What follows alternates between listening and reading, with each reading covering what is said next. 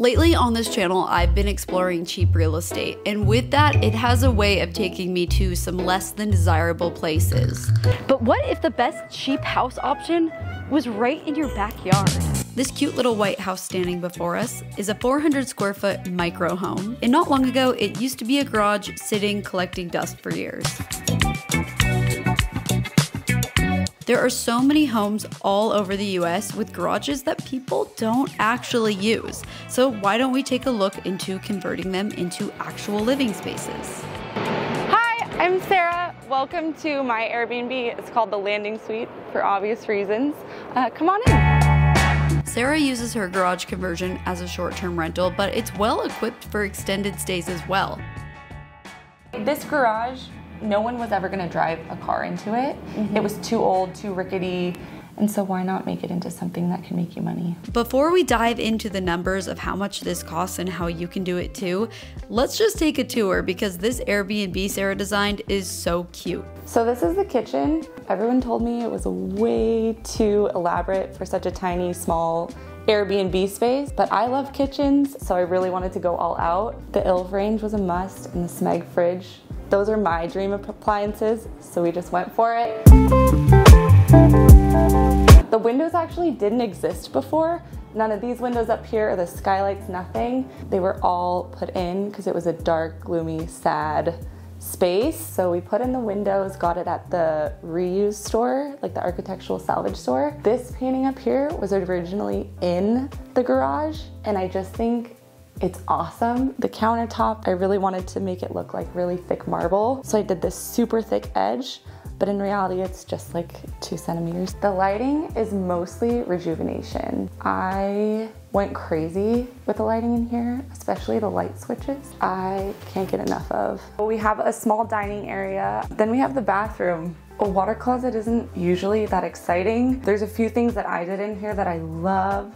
The tile wall was a really small, cost effective way to do something dramatic. My sister in law painted this incredible mural. Everyone thinks that it's wallpaper, but it's all hand painted.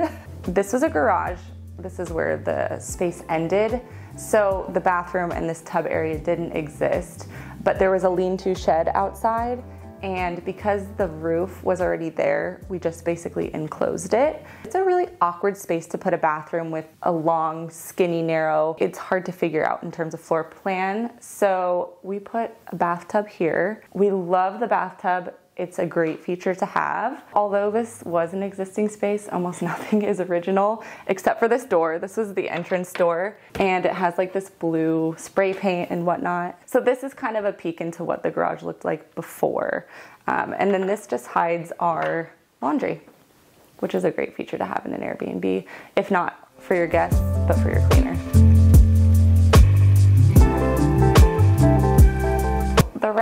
This Airbnb is kind of our living area. You have like your bed, which is just a headboard from Habitat for Humanity store.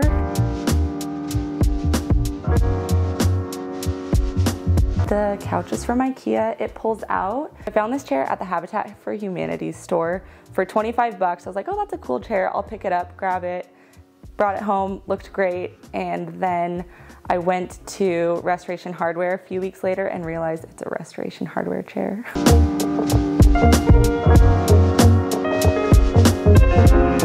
Pretty much everything is redone. The light, the siding, the windows, everything is new.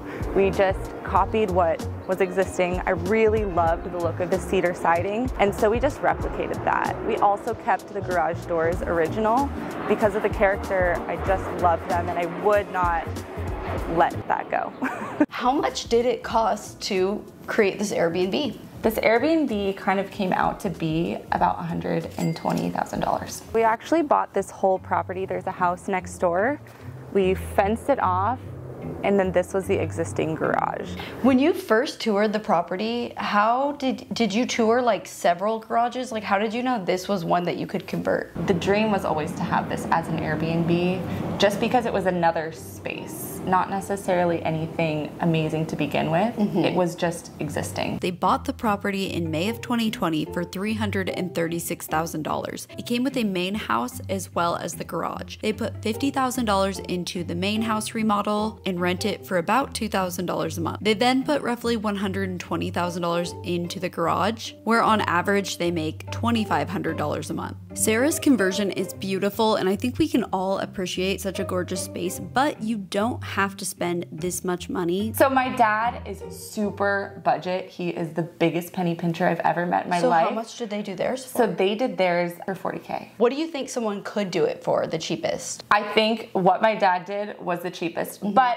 he had an existing bathroom in that garage. It's one of the reasons why he bought his property. Wow. The biggest surprise to me in this whole build was the fact that nothing was really that salvageable. I would have thought the whole point of converting a garage is because you're saving some money on having some framing, having a structure there, but that's really not the case. Here are some of their biggest expenses they incurred, including reframing, foundation, new concrete slab, plumbing, siding installation, flooring installation, electrical, and ceiling work. So it sounds kind of of like if you're going into a garage conversion, you should expect to have to redo everything. And the thing you should focus on more is like the lot itself and if it's usable.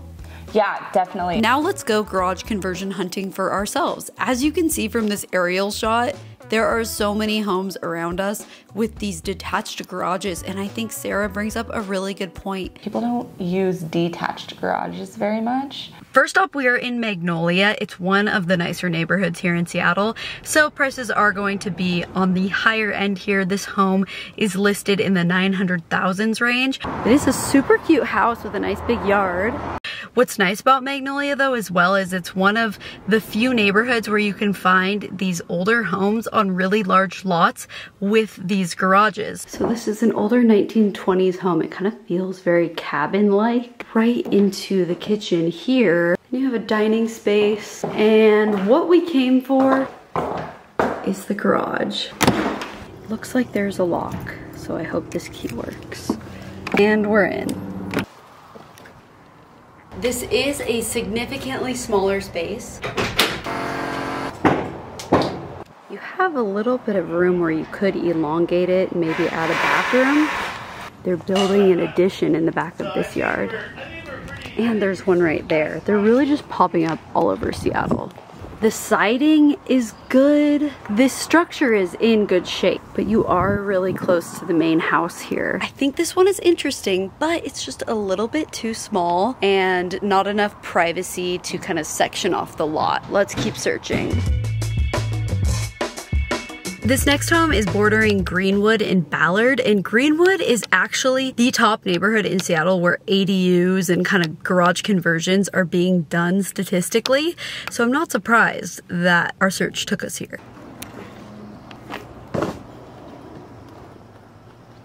This house is 810 square feet, so not super big, but it's a decent layout. It opens right up to an open living space with vaulted ceilings and skylights. Here you have the kitchen area. Update the kitchen, make it look aesthetically a little bit nicer a mudroom, pantry over there, and then just the two bedrooms.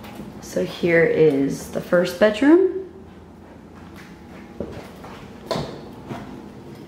And here is the second bedroom and a full bathroom with washer and dryer. They put zero effort into making this thing presentable to buy. The photos don't look any good, but it's actually got like a totally fine layout. And now let's go outside. Outside, you have this side yard and basically what was once a garage. There's also alleyway access off of the home. So similar to Sara's, you could actually pull a car in here. And inside here, we've got the unfinished garage. It, it looks like this would be a bathroom framed out right here. And then vaulted ceilings again. You could probably do a kitchen right on that wall and like just a bed right here and have a little kind of mini Airbnb. So no electrical or plumbing out here. So you can kind of dedicate this space to it.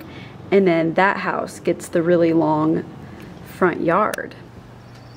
And then you can see right here is the side yard. Okay, I think this is actually the perfect house to do this with.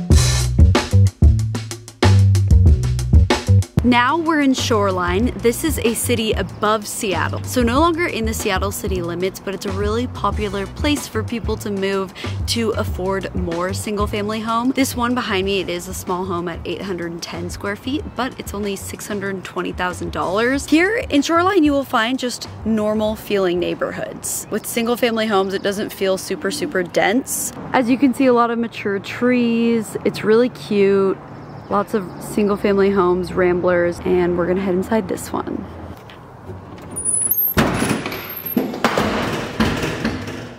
This home opens right up into a living space. And then you'll turn the corner, the kitchen. Looks like it was updated maybe in the 90s. A little bit of a dining nook here. Here is a bedroom